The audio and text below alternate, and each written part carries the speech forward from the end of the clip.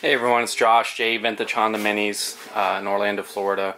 Uh, this is going to be a build series on a Z50 Softail. Uh, we're going to do a 140cc electric start engine in it and I'm going to wire it up so we got full brake functionality with switches and uh, a battery box. Um, this is one of my frames that I did sell to the owner, the, the owner of this bike. It's got a street motorcycle title on it, so he will be able to put a tag and uh, ride around his neighborhood and have some fun with it. Uh, so um, let's go ahead and just get into it, and then I'll kind of highlight uh, as I build it, kind of the more interesting aspects of the build, kind of show how I'm going to use a harness uh, and get it all uh, wired up correctly to make all this stuff work on this uh, year bike. So this bike is a uh, I think it's a 74, 73, I can't remember offhand. Um, but it has, I prefer these frames, these Softail frames with the through stud because you're going to have a big bolt that comes through and hooks on your shocks. I rarely ever have these bent because you got that really thick stud that comes through the bolt uh, as opposed to a later Z50R frame where they are uh, just welded on with threads and then you hook your shock onto it and put a nut on it. So those tend to be tweaked up, but these uh, seem to be much more durable. So I prefer to collect these Softail frames uh, because I just think that they're a beefier design when it comes to the rear shock mount. And just to give a visual too, this is so this is on a Z50R and this is what I'm talking about. On the later frames, they just had studs and a threaded and then you put your bolt on it and that's on both sides. So these are pretty pretty weak in this area. I always see these bent up from just uh, jumping or heavier riders on it. So that's the difference. This is a later model where they changed the design and then on that other frame I just showed you, it's got the through hole that you run a big old stud through, uh, which helps reinforce that area. Alright, so I double checked on the VIN. It is a 1974 and we're going to go with the blue tank, side cover, front forks.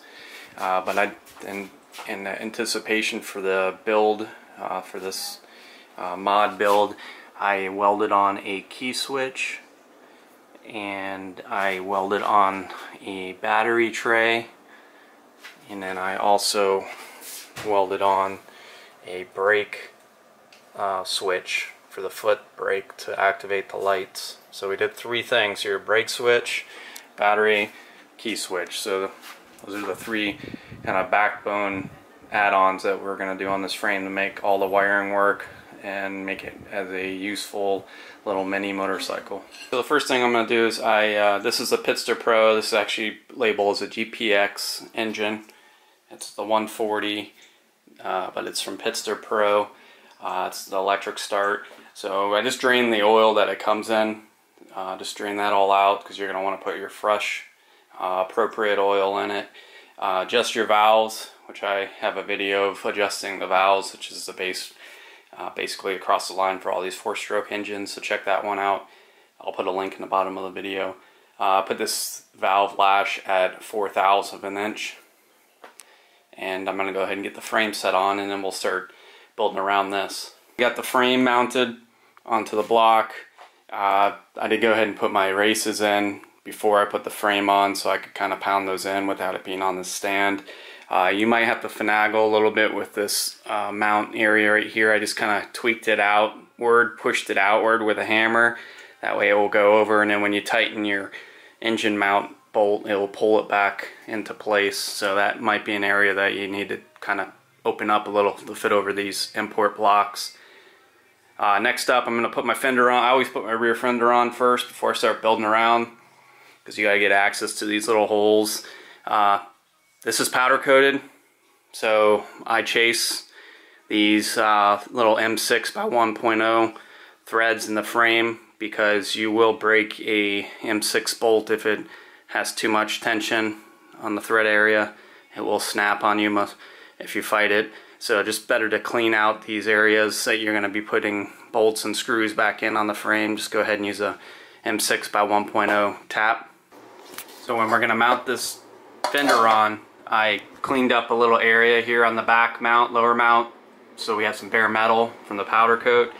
And then I modified the uh, little uh, bushing or grommet that's going to go there because I'm going to use some spacers with these washers to help uh, create continuity from the tail light so that we, you know, the way I'm wiring it, I need functionality like a real brake light.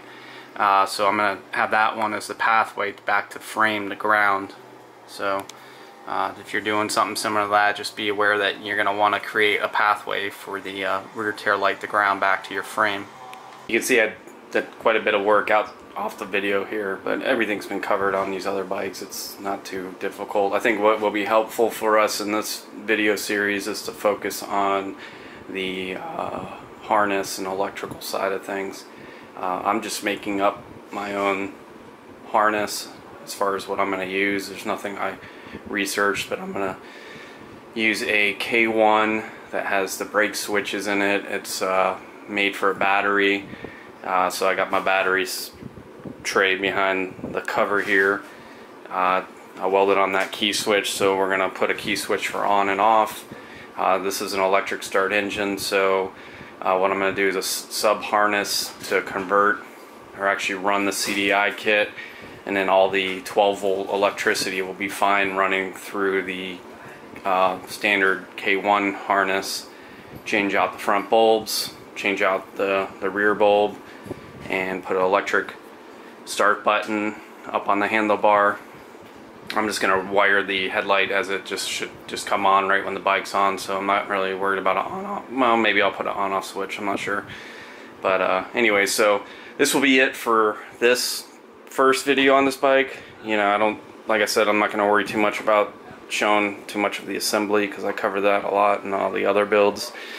Um, but nice pipe here. This is a big bore pipe for a 140, but it's styled after the, um, you know, the original K3 and up style uh, muffler with the muffler shield. Uh, this was off Motor Kit. They're out of Europe. Uh, was pretty reasonable price, um, but that's where I got it from. It's not sold in the States. Um, but yeah, that, that's going to be it for this video and then the next video that I do on this bike is going to be dedicated to kind of running through the whole harness and how I'm going to get that working. Alright guys, subscribe if you don't. Uh, appreciate it if you do. Time to go get some pizza with the family. It's Friday night.